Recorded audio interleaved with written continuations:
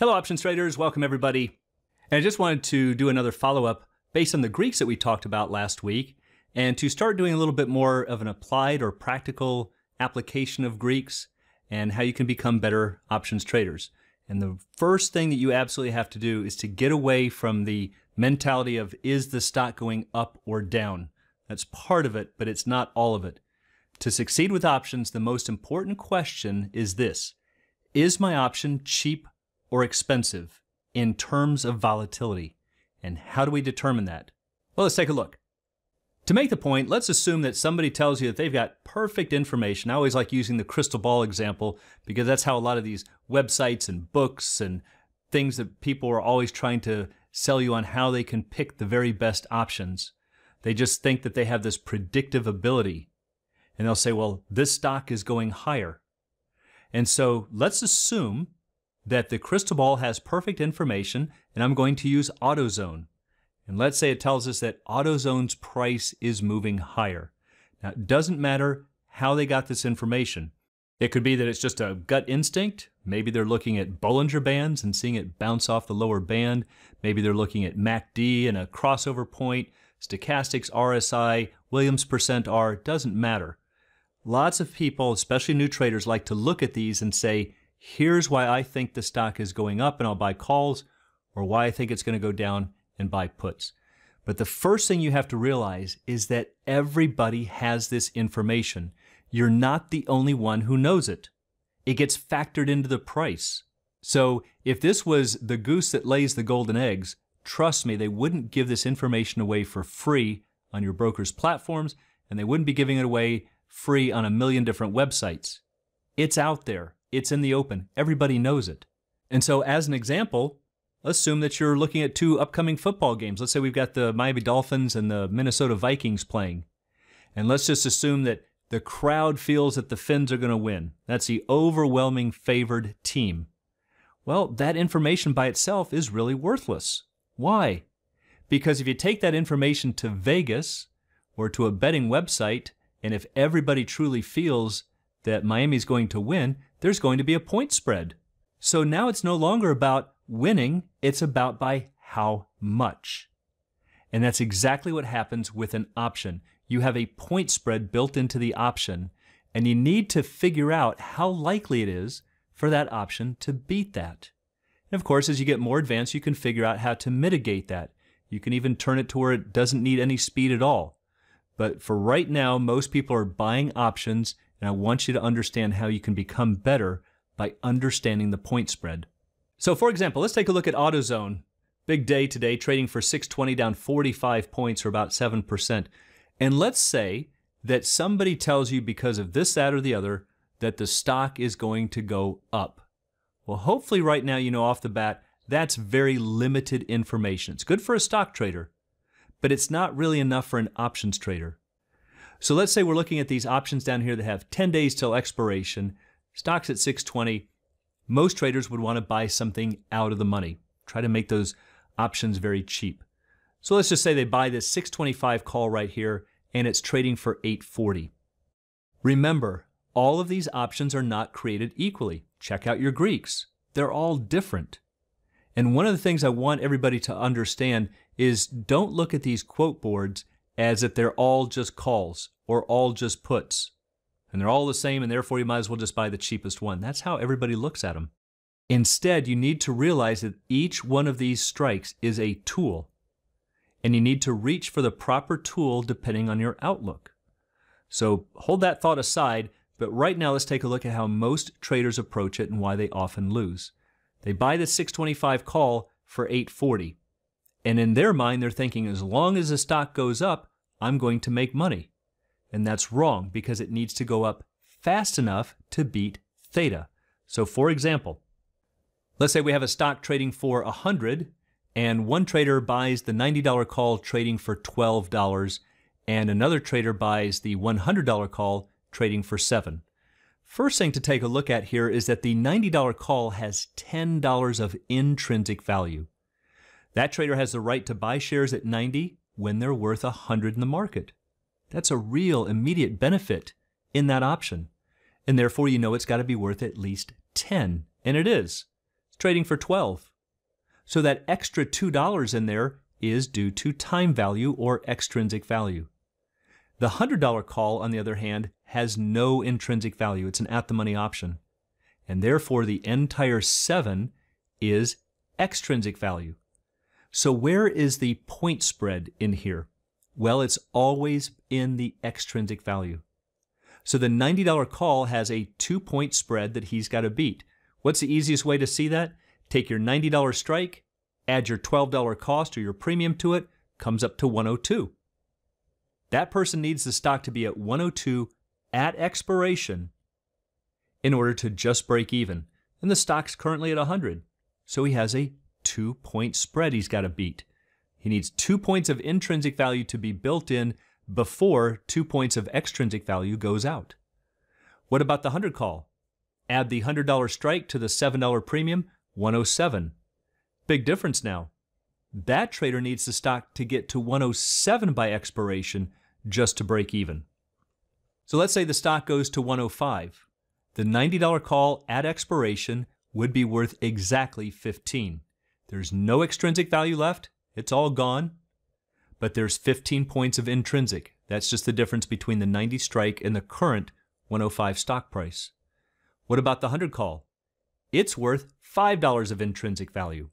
So take a look at what happened. The stock actually increased 5 points. So any option that's in the money definitely gained 5 points of intrinsic value.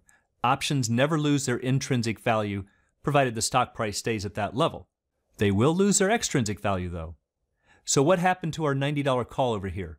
Well, we know he's going to lose $2 of extrinsic value for sure, but he gained 5 of intrinsic value. So on a net basis, he gained 3. And that's why he could buy the option for 12 and sell it for 15. There's his $3 net gain. What about the $100 call buyer? He also gained $5 of intrinsic value, which is why the call finished at exactly 5. However, he lost $7 of extrinsic. So if he lost 7 extrinsic and gained 5 intrinsic, on a net basis, he lost $2. And that's why he paid 7, sold for 5, and lost 2. So think about it. Both traders thought the stock was going to rise. They were both right, yet one gained and one lost.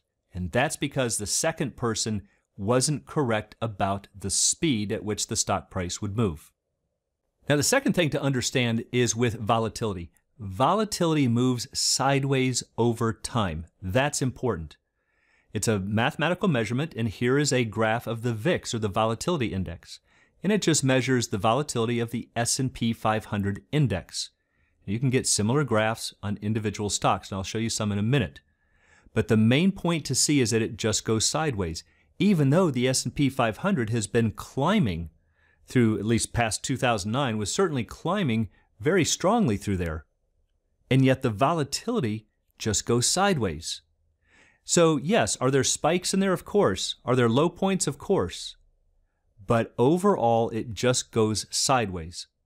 So when you're trading options, remember it is not just about up or down. That's part of it. It is also about the speed or how quickly that underlying stock is going to move. And to assess that, you need to understand volatility. Let's take a look at how we can use volatility to make better decisions. So one thing you'll have to do is to find out from your broker's platform or other websites as to what the current volatility is for the stock. I'm going to lift this up here on this graph, and this is Options House, now E-Trade, and the orange line is the implied volatility. I'll talk about that in a little bit, but the blue line is the stock volatility. And you can see that it's trading for about 15.3% right now. So how can we use that? Well, as I showed in some of those Greeks videos, this is a really nice calculator at the CBOE, and I can just type in AZO and click on Go, and it will populate the calculator with all of the required fields. Now, do understand that they are using closing prices. Today is 522, and you can see that they are looking at prices as of 521. So we need to use current stock prices.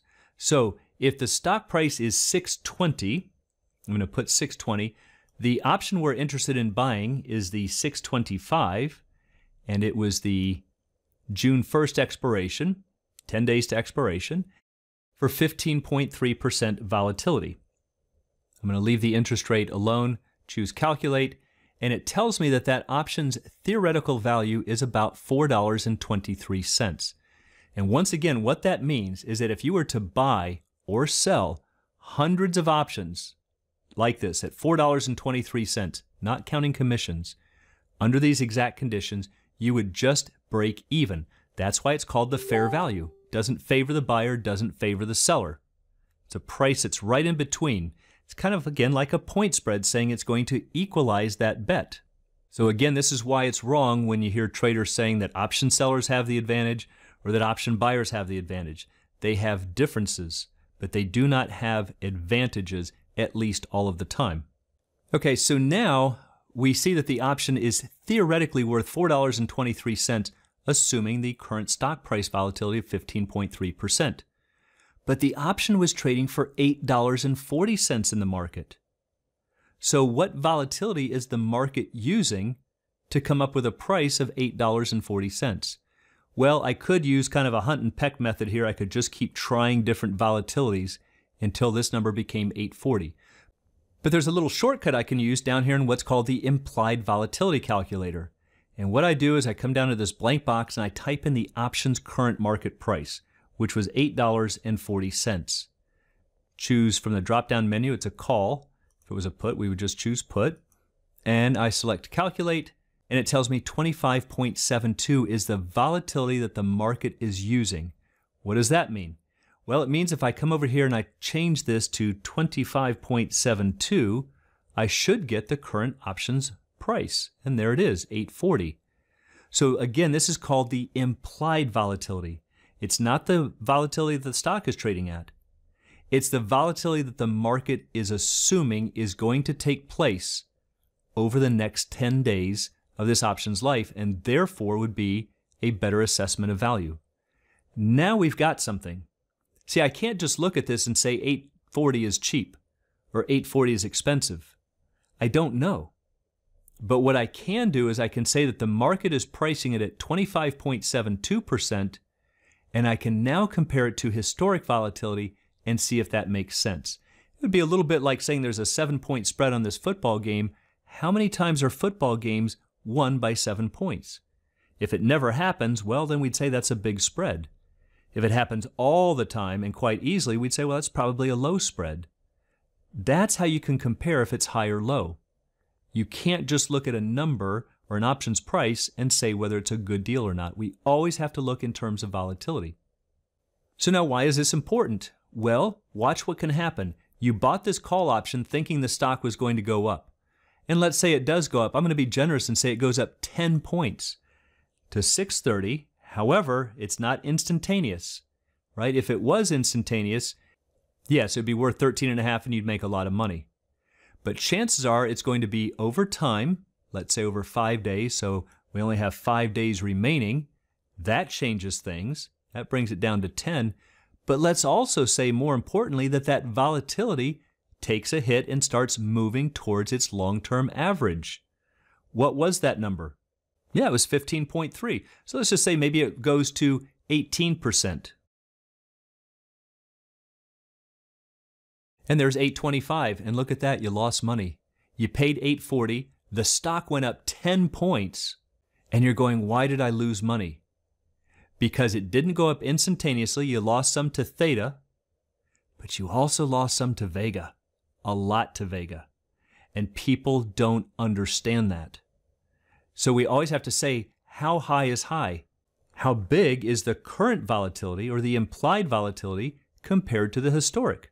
And that's why a good options platform will show you the implied volatility versus the historic volatility.